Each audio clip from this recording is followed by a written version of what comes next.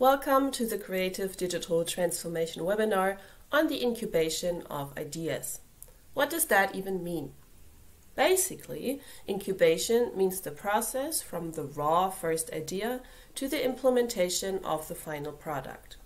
Imagine yourself as the hen who sits on the egg until the chick hatches. Does the chick look like the egg? Not at all. However, it would not come to life without it. It's the same with ideas. The original idea might look different from the final product, but it is vital on the way there and it's where it all starts. Let's not get into the chicken and the egg discussion now, but I hear you. In this webinar, we will show you some methods and strategies of how to come up with ideas, how to keep track of them, how to adapt them when necessary, and how to make them reality. As project managers here at Wisamar Bildungsgesellschaft in Germany, we constantly have to come up with ideas and the ways to implement them in many different contexts. So let's start asking around the office what some of the favorite strategies and methods are. So my ideas usually spring from the needs that I see around me. So whenever we have a course and we have a discussion and topics are coming up that we cannot cover this day, then you know this might be an exercise or this might be a whole seminar itself or maybe even a whole course for itself. So yeah i feel like ideas can come in many shapes and sizes. Okay so i have to go to strategy when i'm faced with a task that i must um, tackle. The first is to search the web for um, similar situations and how they were handled. For example, if I have to write a report on a certain topic, um, I just search the web um, for information and see um, how the subject or how, yeah, how it was handled. And if I don't find this approach to be viable, I will talk to um, a couple of my colleagues or friends that I think um, have more knowledge on how to approach uh, the issue. Um, this will be usually two to three people, and this will be enough for me to understand mm, how to get going. So I think it's you have to work a bit to to actually uh, so that the ideas come to you. And um, for me, it's a little bit like I feel like a monkey that's swinging from tree to tree. Um, there's some piece of material that's interesting to me, and uh, it may, is maybe concerned with the topic I'm working on. So I um, I read it or I listen to it. Could be a podcast, could be uh, could be a YouTube video, and then there's something else that sparks my interest. So I uh, leave the old material, go to the new one. Um, I um, just browse a little bit uh, through that, and then swing on to the next tree like a monkey. I don't stick much to one material. It's just everything that I find attractive at first glance. I um, grab it, I look at it, and if I find something more interesting, I go on. Um, I think that's for me just a method to uh, get as much input as possible and um, not with an, uh, any kind of academic attitude. it's just it's really more like that seems interesting to me or that doesn't seem interesting to me.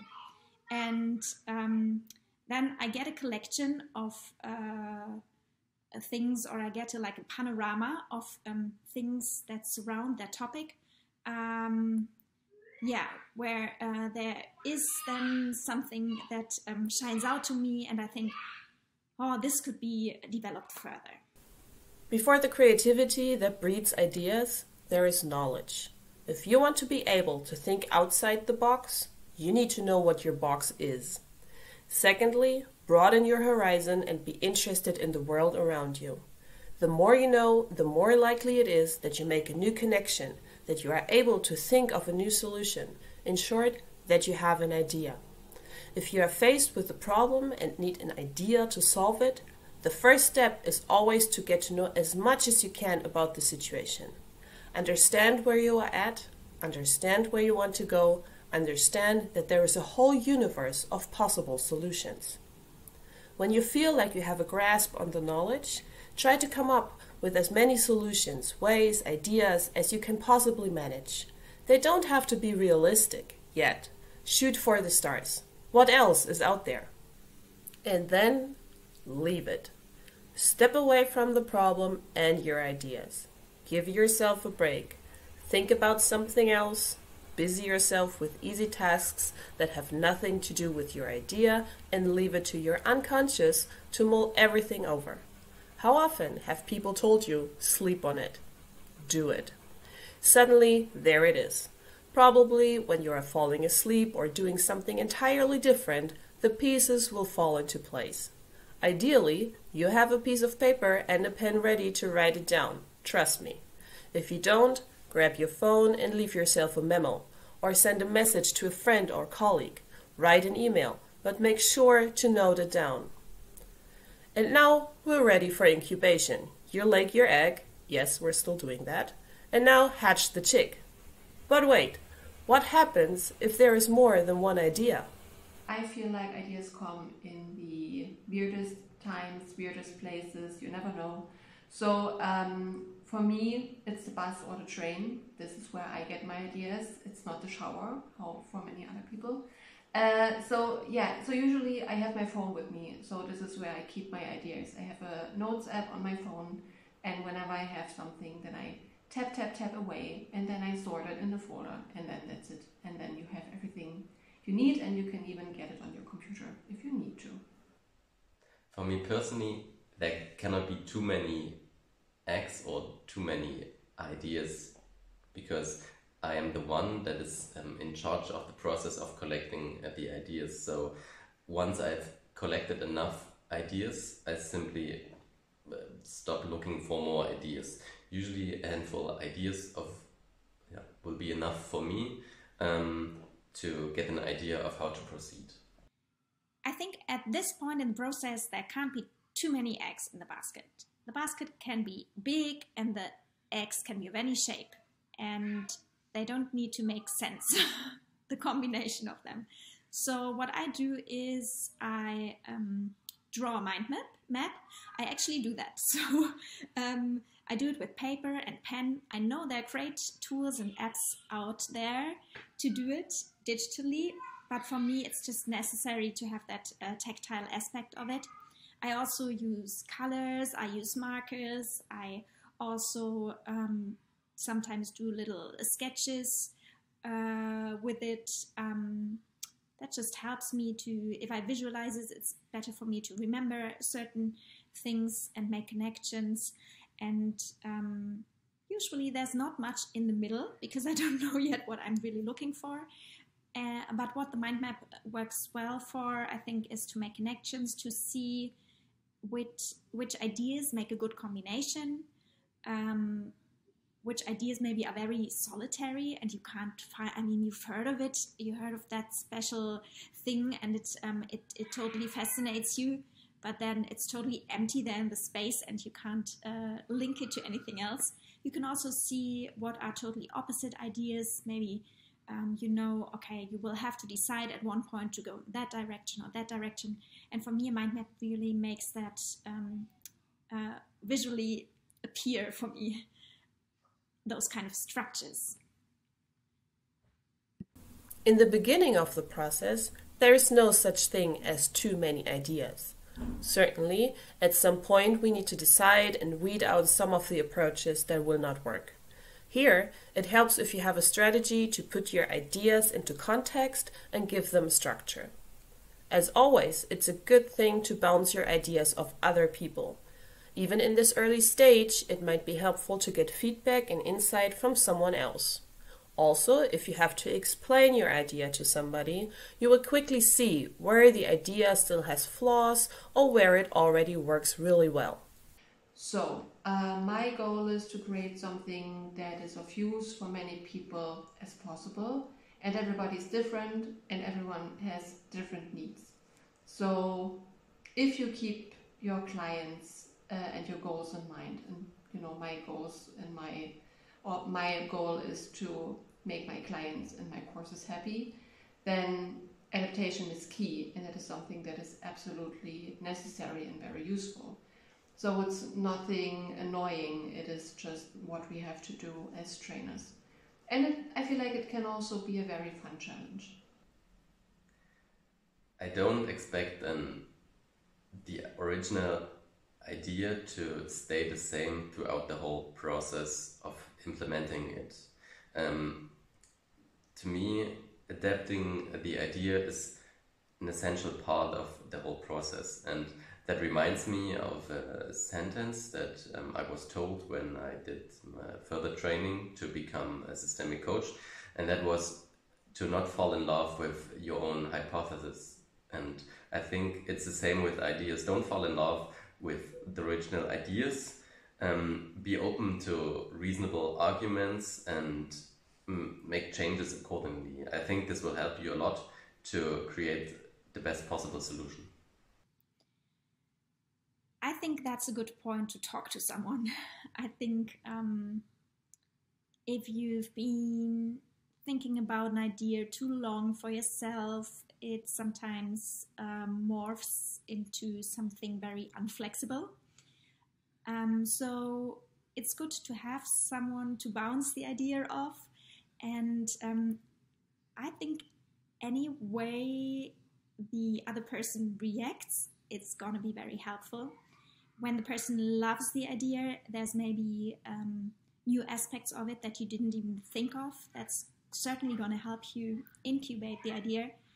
But also, if the person is um, asks very criti- critical questions, um, first of all, your idea might be really not useful. so if the arguments of the other person are very good, that um, that's maybe a good point to to um, change your plan. But sometimes I've also experienced that I heard the critical ideas of the other person, and it just made me think more thoroughly about the idea, made me think more thoroughly about um, my argumentation argumentation for it. Um, I came up with um, new good reasons to incubate that idea, and then um, yeah, just this argument, this little debate, um, can really yeah make the idea richer in any way. For a successful incubation, it is really important that you understand it as a process. The idea you start out with might just be that, a start, but it may develop into something very different through the incubation phase. It is therefore vital that you remind yourself of the ultimate goal that you had this idea for, and again, involve other people in the process. Take advantage of other perspectives and other people's expertise. However, you are also allowed to be critical with their critique. Are they right, or do you just need a better argument for your idea? Find the balance. Be open to change, but also willing to fight for good ideas. I love creating mind maps or short presentations because I need to see how things are written out. So, this is for me the perfect way to sketch out ideas. I think there are many different ways you can do it, but this is mine. And um, what I also think is very useful if you talk to colleagues or other professionals on your field or in your field, um, yeah, because it always helps to discuss or even challenge your ideas. Because this is, or thinking together with other people always helps us, you know, getting other ideas that we might not have thought about uh, on our own. When I want to implement an idea, I make a list of all the foreseeable steps that need to be taken to implement the idea. And that means every teeny tiny step because um, sometimes when we face uh, a challenge, it can be super hard to, to get going. And if you yeah, separate it by into really small parts, you get an impression of making progress as you move through the steps. And yeah, don't be afraid to start the process. At this point, I usually start with a good old Word document. Um, I look again at all the sources I've already browsed through very superficially so in that Word document, um, I for sure write down all the sources that somehow make sense uh, with, and I write also a sentence like, uh, okay, in this source, this is interesting. So I just um, give a little context to the sources. And then for the most interesting sources, I read them thoroughly. I just take out the focal points that um, uh, somehow add to my uh, to my idea. And then after I've looked through some articles or reports or things like that, interviews, um, there's kind of a structure showing up. I think uh, usually see okay, these are arguments for it. Um, uh, this is gonna be the um, rationale that's gonna be um, uh, gonna be the threat in your idea, or um, you find best practices, things like this. And I just um, like through reading the material very thoroughly and connecting things um, that I found interesting before. Um, usually, it comes, it turns into a structure itself. Um, and in the end, I have a document of sometimes maybe uh, depends on the complexity, but it could be ten pages, or sometimes it's really it's longer because I also like I um, I copy and paste uh, some um, quotes that are interesting to me, so I find them quickly, things like that. Um, yeah, and um, usually also like if you have to write maybe a proposal, um, an application proposal, or something like that, uh, it's easy for me to come back to that document and I find the threads uh, quite quickly.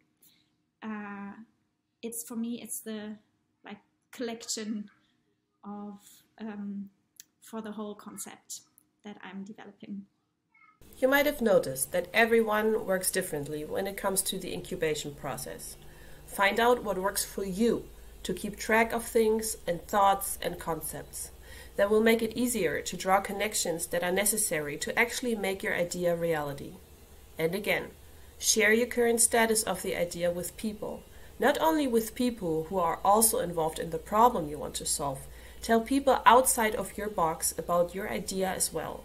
They will have a new perspective and bring new knowledge into the game. But don't forget experts either. They will help you with more specific insight to shape your idea into something viable and stronger. Be open to feedback and critique. Yes, it might hurt sometimes, but those are growing pains. Think about the chick. However, we understand that this also requires a certain level of trust among you and the people you're talking to. So foster a collaborative environment at work. This incubation environment should have flat hierarchies and encourage the free exchange of ideas and information. Be willing to share your idea might inspire a whole new concept in connection with the idea of another colleague. Also, if you share your idea, it is more likely to be remembered. Thank you for watching. If you are looking for a specific and practical method for incubating your idea, watch the Creative Digital Transformation webinar by Matera Hub on the creative project Canvas. Thank you for watching. If you are looking for a specific and practical method for incubating your idea, watch the Creative Digital Transformation webinar by Matera Hub on the creative project Canvas.